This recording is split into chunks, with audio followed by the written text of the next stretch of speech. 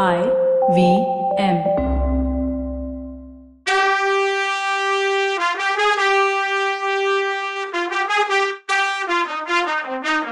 வணக்கங்க. நான் கவிதா பேசுறேன்.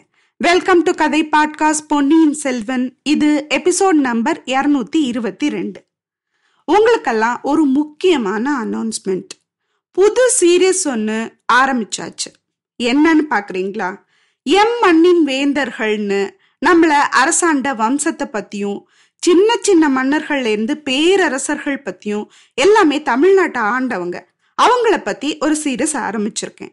உங்களுக்கு செக் பண்ணணும்னா கவிதாஸ் கதை பாட்காஸ்ட் யூடியூப் சேனல்ல போயிட்டு இன்ட்ரடக்ஷனும் எபிசோட் ஒன்னும் ரிலீஸ் ஆயிருக்கு. போய் செக் பண்ணுங்க. எல்லாரும் லைக் ஷேர் கமெண்ட் சப்ஸ்கிரைப் என்னென்ன பண்ண முடியுமோ அத்தனையும் பண்ணுங்க. ஐ நீட் யோர் சப்போர்ட் இப்போ நம்ம கதையை பார்க்கலாம். இந்த பொண்ணை பத்தி சொன்னது ஞாபகம் இருக்கான்னு குந்தவை கேட்டதும் ஜோசியர் நல்லா நினைவு இருக்கு தேவி. இவரை கல்யாணம் பண்ணிக்க போறவர் ரொம்ப பாக்கியசாலி. நிலமகளையும் திருமகளையும் ஒன்னா சேர்ந்த உருவத்தை மணந்த பாக்கியசாலி ஆவாங்க. இந்த இளவரசிய பார்க்க பல நாட்டில இருந்து வந்து அரசிங்க தவம் கிடப்பாங்க. இவங்க வயிற்றுல பிறக்க போற பையன் பிறக்கிறப்பவே வெற்றி கொடியோட பிறப்பான். அவன் போற இடம் எல்லாம் பாக்குற இடம் எல்லாம் அடிப்பணியும்னு சொன்னாரு. உடனே இப்படி சொன்ன உடனே தான் எனக்கு கவலையா இருக்குன்னு சொன்னா குந்தவை. ஜோசியர் உடனே தேவி கவலையா?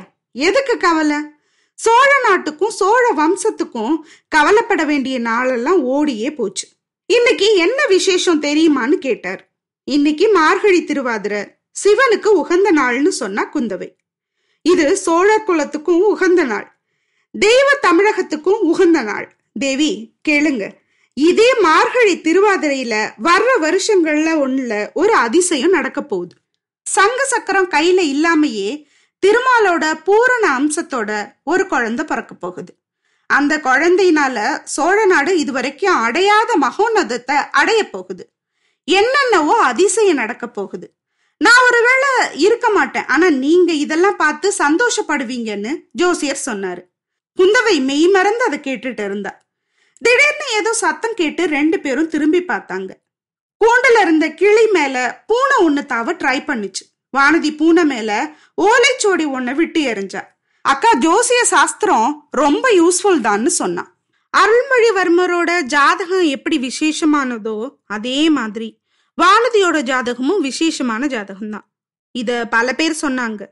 குழந்தையிலிருந்து திருவையாத்துக்கு வந்து குடியேறின ஜோசியர் அன்னைக்கு மார்கழி மாத திருவாதிர நாள்ன்றத நினைவு வச்சு சோழ வம்சத்துக்கு ரொம்ப சிறப்பா அளிக்க போற நன்னாள் இதுன்னு கொஞ்சம் அழுத்தமா சொல்லி வச்சார். ரெண்டு வருஷத்துக்கு பின்னாடி அதே மார்கழி திருவாதிரையில சோழ வம்சத்தோட ஆண் குழந்தை ஒண்ணு பிறந்துச்சு. அந்த குழந்தை பிறந்து வளர்ந்து சரியான வயசு வந்தப்போ சந்திரகுப்தன் அசோகன் விக்ரமாதித்தன் ஹர்ஷவர்தனன் இவங்க மாதிரி ஒரு மிகப்பெரிய சக்கரவர்த்தியா வந்தான்.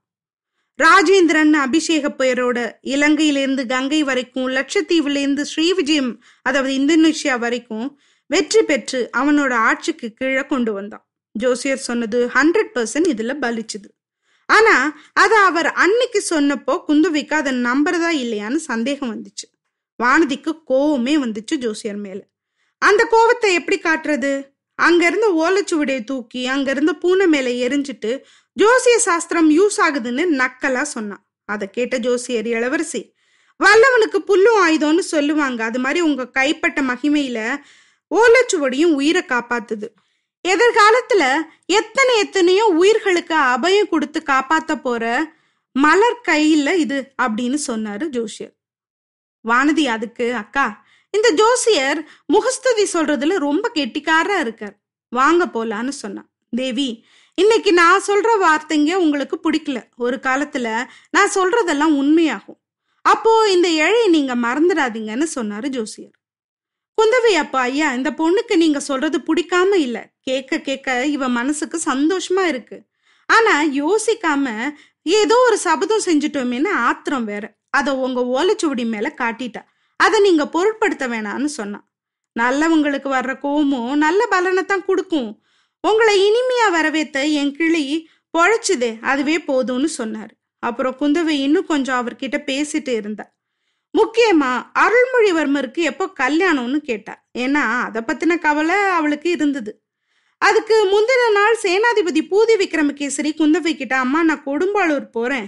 என் பொண்ணையும் அழைச்சிட்டு போலாமான்னு கேட்டார். அதுக்கு குந்தவை மாமா என்ன அவசரம்? பட்டாபிஷேகத்துக்கு இல்லாமலா போறீங்கன்னு கேட்டார். அம்மா பட்டாபிஷேகத்தப்போ வந்துடுவேன்.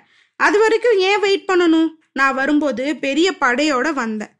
தெய்வாதீனமா நம்ம என்ன நினைச்சோமோ அது நிறைவேறிடுச்சு. இளவரசர் முடிசூடுறதுக்கு சம்மதிச்சிட்டார். அதை எல்லா சிற்றரசர்களும் ஒத்துக்கிட்டாங்க. இனி இவ்வளோ பெரிய படையை இங்க வச்சிருக்க வேண்டிய அவசியமே இல்லை. இவ்வளோ பேருக்கும் சாப்பாடு கொடுத்து படையை நிர்வகிக்கிறது தஞ்சாவூர் நகரத்தாருக்கும் சிரமம். அதனால என் படையை அழைச்சிட்டு போய் அங்கங்க பிரிச்சு விட்டுட்டு வரணும்னாரு. அப்படியே செய்யுங்க மாமா. ஆனா அதுக்கு எதுக்கு வானதின்னு கேட்டா குந்தவை. தேவி அதுக்கும் ஒரு முக்கியமான காரணம் இருக்கு. நேத்து சிற்றரசர்கள் எல்லாரும் கூடி பேசணும் ஒரு முடிவுக்கும் வந்தோம். உங்க தாத்தா அரிஞ்சய சக்கரவர்த்தியோட அப்பா பராந்தக சக்கரவர்த்தி ஆறு பேரை கல்யாணம் பண்ணிக்கிட்டார். என்னோட குலத்திலேருந்தும் மிலாடுடையார் குலத்திலேருந்தும் பழுவேட்டரையர் மழவரையர் சம்பூரையர் குலத்திலேருந்தும் ஒவ்வொரு பொண்ணை கல்யாணம் பண்ணிட்டு இருந்தார். அதனால அவர் காலத்துல சிற்றரசர்களுக்குள்ள எந்த பிரச்சனையும் இல்லாம இருந்துச்சு. உங்க தாத்தாவும் பல சிற்றரசர்குல பொண்ணுங்களை கல்யாணம் பண்ணியிருந்தார். அவர் வெற்றி கொண்ட வைத்தும்பராயர் குலத்துல இருந்து உங்க பாட்டியை கல்யாணம் பண்ணிக்கிட்டார். ஆனா உங்க அப்பா இந்த மாதிரி நல்ல பழக்கங்களை எல்லாம் கடைப்பிடிக்கல. உங்க அம்மா மலையமான் மகளை மட்டும் கல்யாணம் பண்ணிக்கிட்டார். அதனால சிற்றரசர்களுக்குள்ள பொறாமையும் சண்டையும் வந்துச்சு. அதனால இனிமே இந்த சோழ நாட்டு சக்கரவர்த்தியா முடி சூட்டிக்கிறவங்க பல சிற்றரசர் குலத்துல இருந்தும் பொண்ணுங்களை கல்யாணம் பண்ணிக்கணும்னு நேத்து நடந்த கூட்டத்துல முடிவு பண்ணாங்க. பொன்னியின் செல்வரோட மகுடாபிஷேகம் முடிஞ்சப்புறம் இத அவர்கிட்ட சொல்லலான்னு இருக்கும். வானதிய ஏன் ஊருக்கு கூட்டிட்டு போக நினைக்கிறேன்னு உங்களுக்கு தெரிஞ்சிருக்கும். அவளை இங்க விட்டு வச்சிருந்தா நான் இந்த உடன்படிக்கையை மீறேன்னு மத்தவங்க சந்தேகப்படுவாங்கன்னாரு கொடும்பாளூர் வேளார். இதை கேட்டதும் குந்தவைக்கு பயங்கர கோவம் வந்துருச்சு. அதை அவ வெளியில காட்டாம சேனாதிபதி அப்பா அம்மாவை இழந்துட்ட உங்களோட தம்பி பொண்ணுக்கு நீங்களே அம்மா அப்பாவா இருக்கணும்னு என்ன நீங்க கேட்டுக்கிட்டீங்க? அதை மறந்துட்டீங்களா? வானதியை கொடும்பாளூருக்கு அனுப்ப முடியாது. அவளை விட்டு என்னால பிரிஞ்சிருக்கவே முடியாது. நான் வேணும்னா வானதியை கூட்டிட்டு பழைய அறைக்கு போயிடுறேன். முடிசூட்டு விழாவுக்கு கூட வராம அங்கேயே இருந்துடுறோம். கல்யாண பேச்சே இப்போ வேணாம். பட்டாபிஷேகம் முடிஞ்ச பின்னாடி சிற்றரசர்களோட விருப்பத்தை பொன்னியின் செல்வர் கிட்ட சொல்லுங்க. அதை பின்னாடி பாத்துக்கலான்னு சொன்னா குந்தவை. சேனாதிபதியும் அதை ஒத்துக்கிட்டார். குந்தவை ஜோசியரை தேடிக்கிட்டு வர்றதுக்கு இதுதான் பெரிய காரணம் ஆயிடுச்சு. அதனாலதான் பொன்னியின் செல்வர் கல்யாணத்தை பத்தி அவ்வளோ கவலையோட கேட்டா. அதே நேரத்துல வானதியோட நினப்பு பழைய சம்பவம் ஒன்ன நினைச்சுது. அதுலயும் ஒரு பறவையும் பூனையும் இருந்துச்சு. பூனையோட ஒரு யானையும் யானை பாகனும் அதுல சம்மந்தப்பட்டிருந்தாங்க மர கிளையிலிருந்து தொங்கின பறவை கூட்ட பொன்னியின் செல்வர் யானையை எடுத்துட்டு வந்து காப்பாத்துனது ஞாபகம் வந்துச்சு. அது யானை பாகன்னே அவன் நினைச்சிட்டு இருந்தா. அதுக்கப்புறம் தான் அவர் பொன்னியின் செல்வர்னும் அவளுக்கு தெரிஞ்சது. ஆஹா அவர் வெறும் யானை பாகனாவே இருந்திருக்க கூடாதா? அவர் சுந்தர சோழ சக்கரவர்த்தி திருமகனா இருக்கிறதுனால தானே இவ்வளோ தொல்லை? அதனால தானே என்ன மாதிரி உள்ள பொண்ணுங்களும் தோழிகளும் பூங்குழலி மாதிரி உள்ளவங்களும் சோழ நாட்டு பட்டத்தரசியாக விரும்புற கள்ள நோக்கம் உள்ளவங்கன்னு என்னை பத்தி நினைச்சு சொல்ற மாதிரி ஆயிடுச்சு. வானதி இந்த நினைவுல இருந்த நேரம் குந்தவை எதிர்காலத்தை பத்தி ஜோசியர்கிட்ட கேட்கறதுல ஈடுபட்டிருந்த நேரம் ஜோசியர் வீட்டு வாசல்ல சீனத்து பட்டு வேணுமா சீனத்து பட்டுன்னு பெருங்குரல் கேட்டுச்சு. வேற குரலும் கேட்டுச்சு. குந்தவையும் வானதியும் வந்து ரொம்ப நேரம் ஆச்சுன்னு உணர்ந்தாங்க. அப்போ ஜோசியர் சிஷ்யம் உள்ள வந்து சுவாமி சீன வியாபாரிங்க ரெண்டு பேரு வந்திருக்காங்க உங்ககிட்ட ஜோசியம் கேட்கணுமா அவங்கள நாளைக்கு வர சொல்லட்டுமான்னு கேட்டான். குந்தவை உடனே வேணாம் இப்பவே வரட்டும். நாங்க கிளம்புறோம்னு சொல்லிட்டு வானதி கைய பிடிச்சு கூட்டிட்டு கிளம்புனான். இளவரசிங்க ரெண்டு பேரும் வாசலுக்கு வந்தப்போ அங்க ஒரு யானை நிக்கிறதையும் ரெண்டு சீன வியாபாரிங்க பெரிய துணி மூட்டையோட நிக்கிறதையும் பார்த்தாங்க. கீழே நின்ன யானைப்பாகன் கிட்ட அந்த சைனா வியாபாரிங்க ஏதோ கேட்டுட்டு இருக்க மாதிரி தோணுச்சு. அவங்க மேல அவ்வளோ கவனம் வைக்காம இளவரசிங்க தங்களோட வந்த வீரனை கூட்டிட்டு சோழ மாளிகை போய் சேர்ந்தாங்க. அன்னைக்கு முன் இரவுல திருவாதிரை திருவிழாவை முன்னிட்டு ஐயாரப்பரும் அறம் வளர்த்த நாயகியும் திருவையாறு விசாலமான மாட வீதிகளில் ஊர்வலமா எழுந்தொருளினாங்க. வெள்ளி பனி மூடிய கைலங்கிரி மலைய நினைவூற்ற மாதிரி வெள்ளியில செஞ்ச கைலாச வாகனத்துல அன்னைக்கு அம்மனையும் சுவாமியையும் அலங்கரிச்சு வச்சிருந்தாங்க.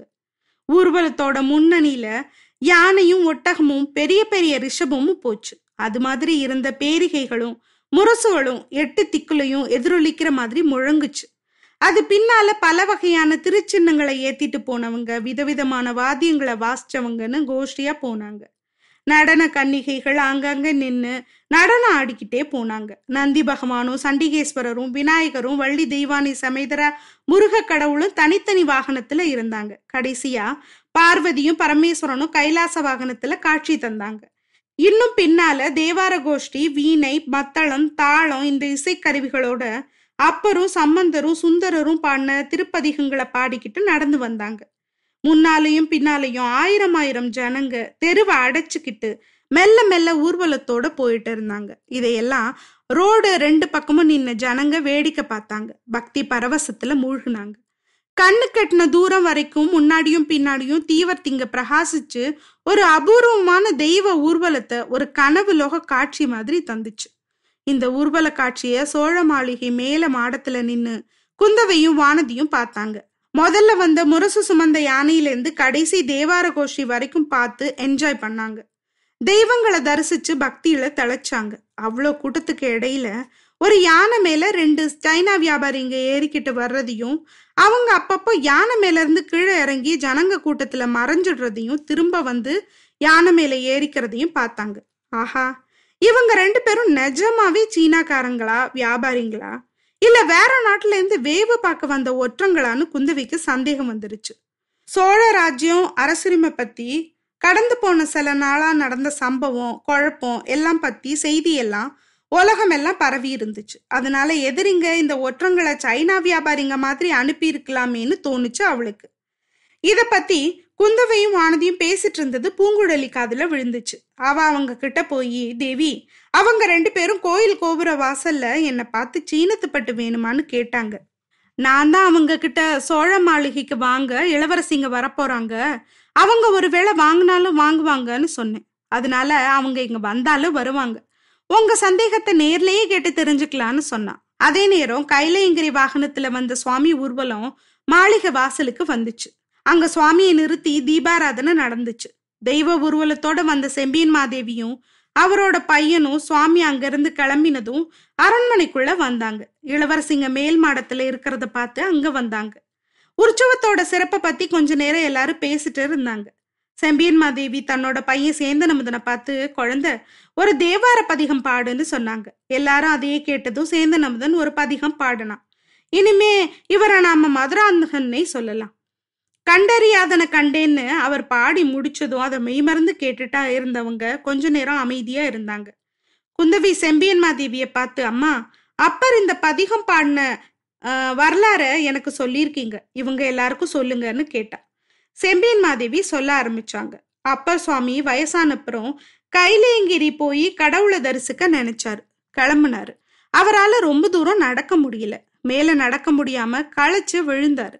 அப்ப அங்க ஒரு பெரியவர் வந்து நீங்க ஏன் கைலாயத்தை தேடி போறீங்க? திருவையாறு போங்க. அதுதான் பூலோக கைலாசம்னு சொல்லிட்டு மறைஞ்சிட்டார். அது கடவுள் வாக்குன்னு தெரிஞ்சு அப்பர் திருவையாறு போனார். அங்க கிட்ட வரும்போதே அவர் மனசு பரவசமாயிடுச்சு. பல அடியார்கள் கையில பூக்குடையும் கெண்டியில காவிரி தண்ணியும் கொண்டுட்டு தெய்வத்தை தரிசிக்க போறத பார்த்தார்.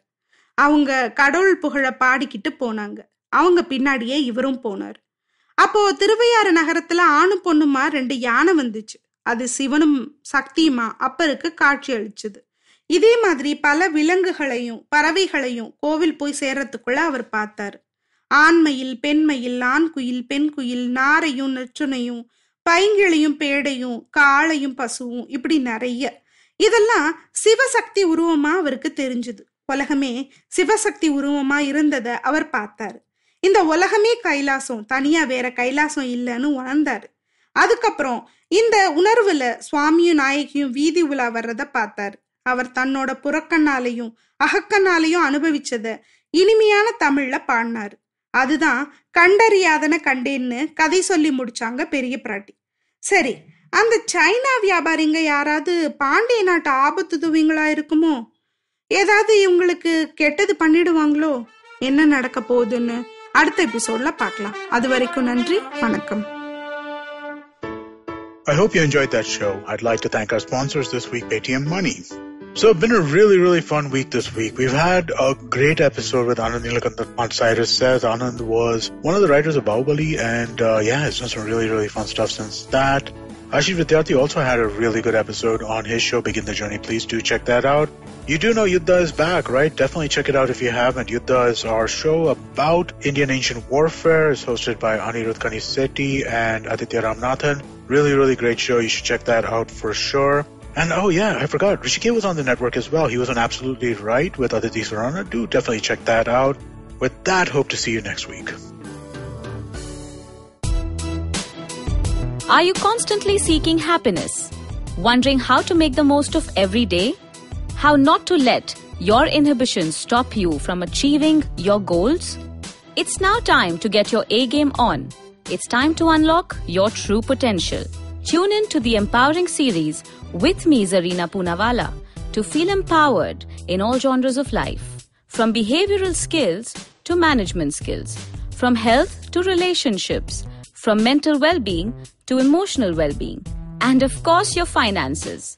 I've got you covered. With these tips and tricks from me, Zarina, and true life stories from my amazing guests, you're bound to bring your purest to the table. Tune in to the Empowering series with Zarina Punavala every Thursday on the IVM Podcast app, website, or wherever you listen to podcasts.